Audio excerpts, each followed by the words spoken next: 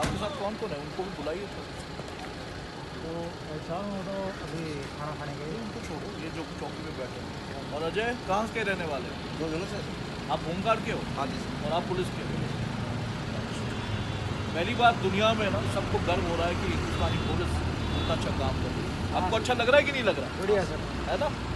पहली बार फौज को आपके ऊपर गर्व है। कि हमारे देश की पुलिस इतना अच्छा काम कर रही है। और हमारे जवानों ने ये बोला है कि साहब जितने पुलिस वाले हैं सबको मिठाई देते हैं। तो ये हमारी तरफ़ से थोड़ी भेंट है क्योंकि पूरे कोविड के मौसम में जो सब लोग इतने टेंशन में घूम रहे थे आप अकेली फौज हो जो अपनी नौकरी एकदम बढ़िया से करो।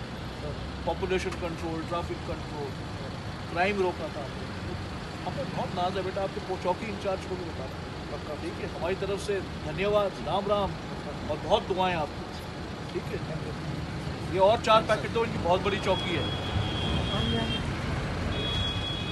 और जो होमगार्ड वाले भी आपके साथ लगे हुए हैं। हाँ उन्होंने भी कितना बढ़िया काम किया।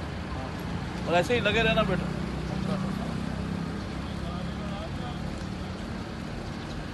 और ये चौकी में बांट देना सर ठीक। और ये हिंदुस्तानी फौज के जवानों की तरफ़ से उन्होंने बनाया है। ठीक है थैंक यू जय हिंद।